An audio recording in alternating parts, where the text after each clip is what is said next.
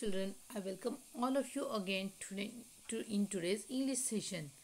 Here you can see the picture of your English textbook. This book is your English textbook. Today we are on page number 12 and the name of our chapter is It's Only a Matter of Practice. The name of this lesson is It's Only a matter of practice. So, let's read out this lesson.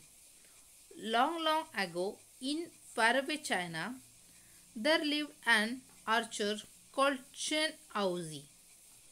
He was a very skilled archer and could perform wonderful feats of archery. He could hit the target precisely at the center even when it was placed at a very long distance.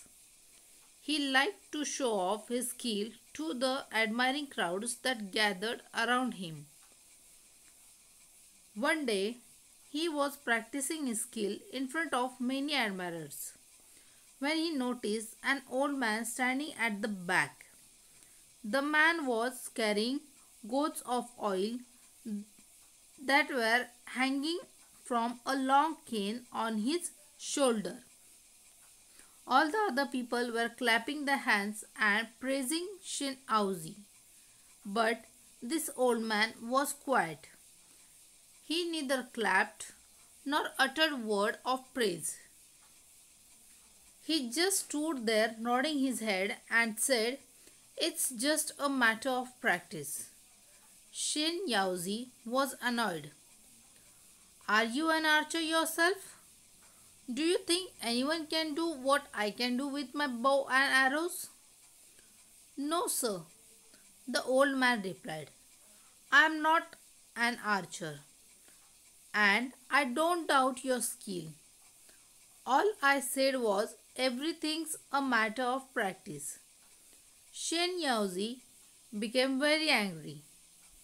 What do you know that you pass such thoughtless comments on other people.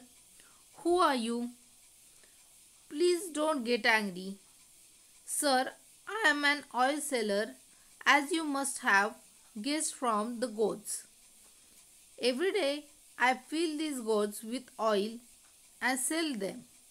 Over the years, I have achieved some skills in filling the gourds. If you allow, I'll show it to you. Hmm, growled Shen Yaozi. Everybody was curious to see what would happen next.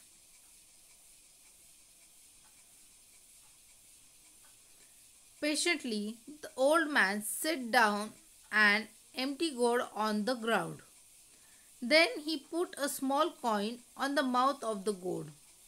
In those days, small coins had a little hole at the center. Then the old man stood up took some oil in his ladle and began to pour oil into the gourd from a height. The oil went straight into gourd through the hole in the coin. When the old man had finished filling up the gourd, he lifted up the coin. Not a trace of oil could, see, could be seen on it. The people watching it were speechless with wonder. But the old man only smiled. As I said, there's nothing special about it. It's only a matter of practice, you see. Shen Yaozi lost all his anger and annoyance. He just gave a short laugh and said, You have taught me something important today. After that, Shen Yaozi never showed off or boasted about his skill as an archer.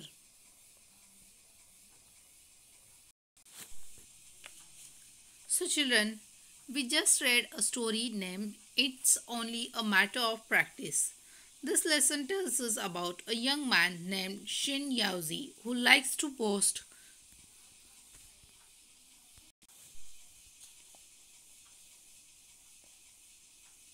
about his skills as an archer.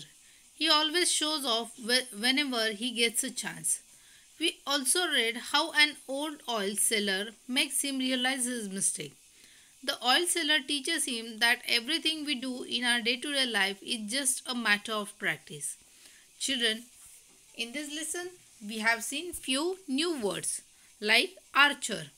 Archer means someone who shoots arrow from above. Feats achievements that require a lot of skill and strength. Precisely, exactly.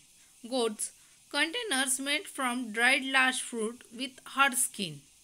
Uttered, said. Speechless, unable to speak. Skilled, having the ability to perform a certain task or activity well. Trace, sign or mark. Annoyance, irritation. Admirer, a person who supports or likes someone or something. So children, now in your workbook on page number 32, you will see some quick check questions. You will write those questions in your notebook as well as answers in your notebook.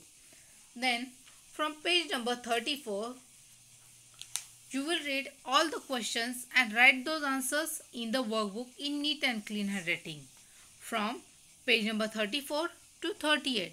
So complete your workbook in neat and clean handwriting. Thank you. Bye.